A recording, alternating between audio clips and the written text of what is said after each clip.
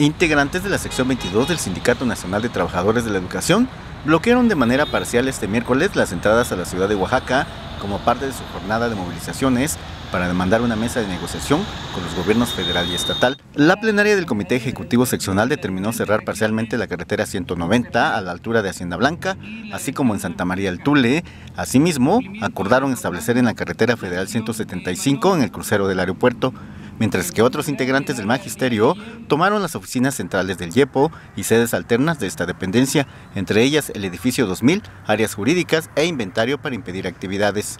Indicaron que de no tener un llamado antes del sábado, irán a las urnas para dar un voto de castigo contra los partidos que firmaron el Pacto por México. Comentaron que van a defender por la vía jurídica a los docentes que ya cesó la autoridad educativa por participar en las actividades sindicales y el paro indefinido. Con información de Vidalia Cruz, Oscar García, Agencia Cuadratín.